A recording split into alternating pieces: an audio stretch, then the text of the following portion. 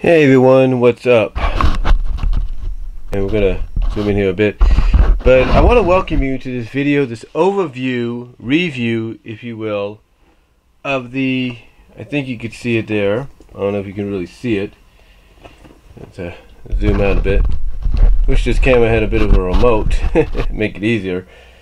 But of the, uh, in there.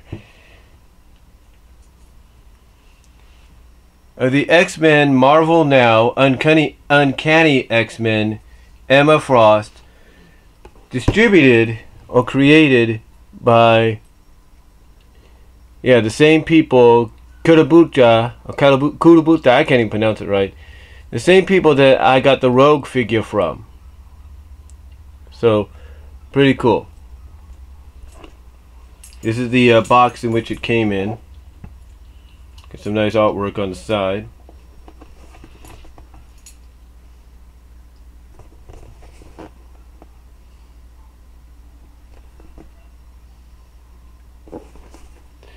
And right there it says Marvel Now.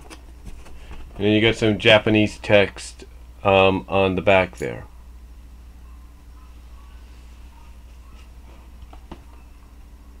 See, and then you got uh, descriptions right there.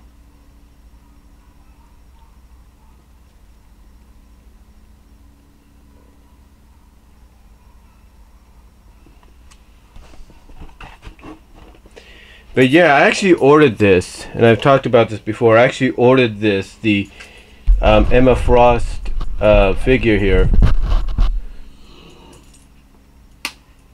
I actually ordered this back two days after my birthday on July 27th. What happened was, it looked like it was on its way to be shipped, right? Now, I didn't get a message saying, oh, it couldn't be shipped because there was something wrong. No. I ended up getting a message saying there was a delay. And the delay obviously was whoever the Amazon, I can't remember it was Toy Wiz or somebody, but somebody that partnered with Amazon and uses the Prime, uh, the Prime portion of Amazon to distribute and sell items. Basically, I got a message stating that, and again, I don't know if it was Toy Wiz or whoever, but I got a message that stated there was a delay because the item wasn't in stock. But they would let me know when it would show up. Well, the item showed up alright last week, I believe. A week from yesterday, it showed up. It showed up a week from yesterday, which was Monday. And I look at that I'm saying, well, better late than never. Because I kept checking, wondering when it was going to get shipped and I kept getting the message of we'll let you know, we'll email you, and then re- and then finally the weekend before, I ended up looking at the message, and this time it said it was on its way. So whatever the reasoning was,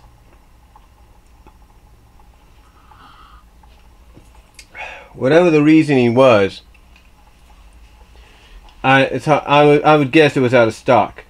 But basically, it's built in the same fashion as the Rogue figure.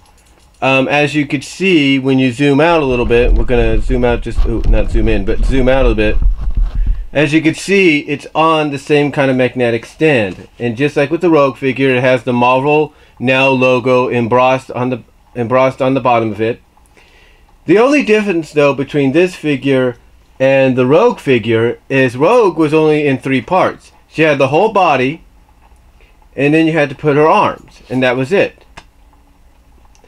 Here, with um, but no, it was it was her head, it was her arms, and her body. So she was in four parts. See, like she had a whole body, a whole torso, but you had to connect her head and her arms. Here, you had to connect her torso. Her head was already on there, so you had to connect her torso, her torso together.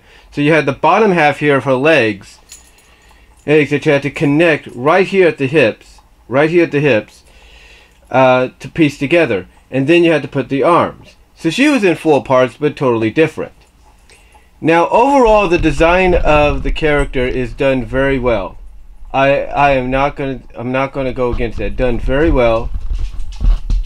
As a matter of fact, we're gonna stop this here for a second. and we're going to pull her off the stand and again like I said it's the same stand. It's got the Marvel Now insignia uh, I mean logo on the back. It's kind of cool. Didn't say the year just says Marvel. And then this is what the figure looks like. And overall it is a great representation of what the White Queen White Queen Emma Frost is in the comics right now and then like I said, as you could probably see here, and hopefully that clears up a little bit, as you can see here, you have to connect her between these two parts, this part and this part. And then the arms, of course, you have to connect. Overall, the design is done very well. Her head does not move, if you're wondering that. The cape, though, feels very flexible a little bit, so that's kind of cool.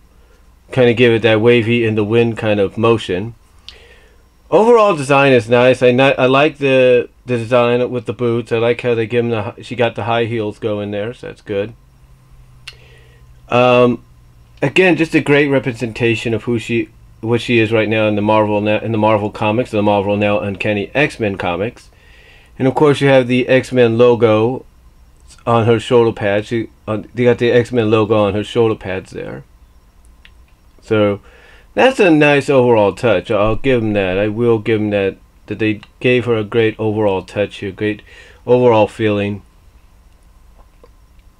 Um, as we could see, just great. Oh, just a great design overall. They, these Kataburas, uh, I can't pronounce it correctly. They just do a fantastic job with these figures, and I don't. I don't think you could say any any any more than that. So. They just do a tremendous, tremendous job with these figures. And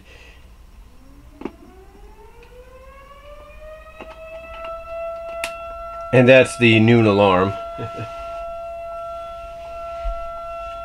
but yeah, they just do uh, a tremendous, a tremendous uh, job with these figures. I, again, I can't say any any more than that. And again, like I said, that's the noon alarm right there but again, like I said, they just do a tremendous, tremendous job with these figures. Um, can't say any any more than that. Um, but yeah, just a great job, well done, and I, I really recommend getting something like this for your collection. You know, again, they give you a great box that it comes in, gives you great artwork, give you an idea of what was inspired from. So overall, it's just just a great figure, and I know I say that word a lot here, so I do apologize. But it's just just a terrific figure here and a great collectible item. The only downside that I'm pretty sure like a lot of people would look at is the fact that you got to piece it together like a puzzle. But it's easier said than it. But it's a lot easier than you expect. So.